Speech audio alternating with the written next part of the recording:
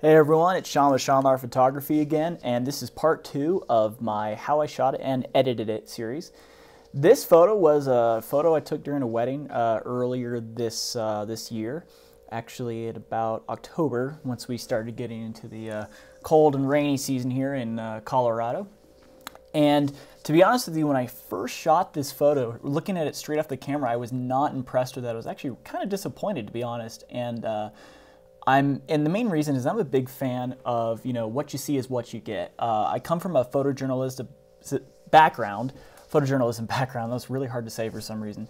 And I was always taught to get the shot as perfect as you can straight off the camera nail the shot, you know, no editing. You have deadlines to meet, you can't play with images. Um, so that's kind of been my mentality. But this was one particular image that really needed editing to bring it out, and I'm going to show you exactly how I did that. So to start, uh, just a little bit of mist that day, so not a ton of rain. And I really wanted to illuminate the background uh, and backlight this couple. So what I did is I put my speed light, actually to be exact, my uh, Godox AD200 on a light stand directly behind him, probably about, I'd say about 10 feet, with the intention of illuminating the raindrops and getting a little bit of, uh, of a rim light on their head, as you can see kind of right here. Um, and then what I also did to add a little bit of uh, warmth to the image is I put on uh, either a quarter or a half uh, stop um, CTO gel from Magmod. That stands for color temperature orange. Basically, it's just a filter that you put over your uh, speed light or your flash to add some sort of color to the image. And then of course on that I used a Magmod Magsphere. And on top of all that, I wrapped it in a plastic bag so my gear wouldn't get wet. So I'm going to show you what the original image looked like and you're going to see immediately why I did not like this photo straight off the camera. So here we go. I'm going to reset this right now.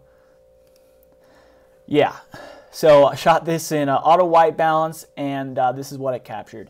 Uh, quite some blown out highlights in the umbrella here, which I was able to bring down a little bit as you saw earlier and uh, just very cool color temperature. So I'm going to show you what I'm going to do to fix and save this image. So to start, shot this on a D850 with the 105-14, my absolute favorite combo by the way. Quite expensive, but worth it if you're a portrait photographer.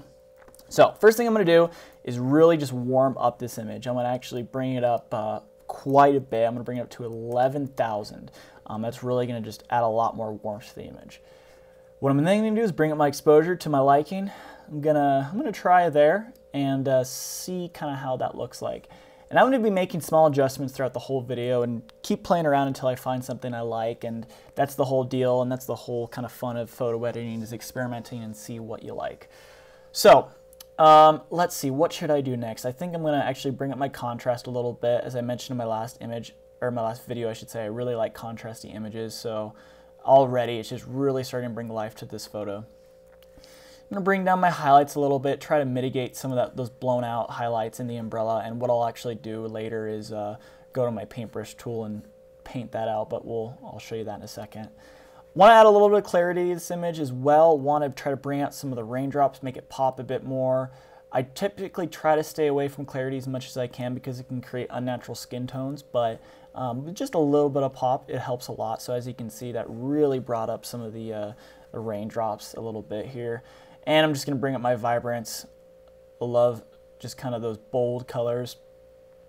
And I'm thinking that's, uh, that's a really good start. What I'm going to do now is make a little bit more fine adjustments. I'm going to uh, first kind of bring, crop this down just a little bit, try to get rid of some of that tree on the left here.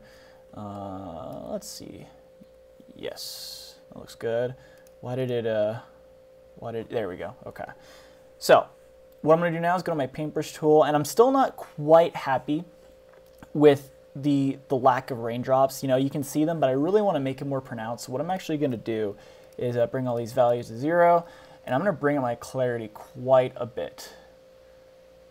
Quite a bit. And I'm actually going to leave my highlights right about 10 right here. That way I can bring up some of the, uh, the highlights in these raindrops. So paintbrush tool, uh, about that big, and I'm just going to paint all around this image and really just bring up those, uh, those raindrops here. And as you can see, it is just completely making these raindrops pop and really bringing life to the areas of this image. And again, I'm trying to paint around the couple because I don't want too much clarity on them. I want to keep those skin tones nice and soft, and I don't want them to uh, look too fake. So that's looking pretty damn good. I think I'm just going to make one more adjustment, which is what I mentioned earlier, trying to bring down some of the highlights in this umbrella. Unfortunately, it was one of those uh, clear shoot-through umbrellas, not really a shoot-through, just kind of a prop umbrella.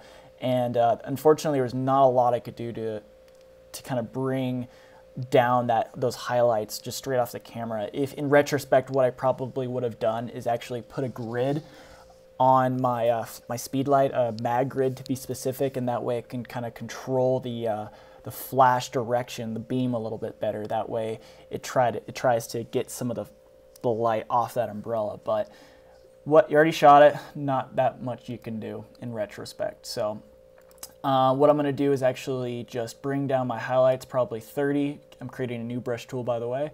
Bring down my exposure a little bit, and we're going to see what this looks. Actually, bring down the have our clarity at zero and then um, maybe a little bit of dehaze and just to see what this looks like. So I'm gonna kind of paint. So it's bringing it down a little bit.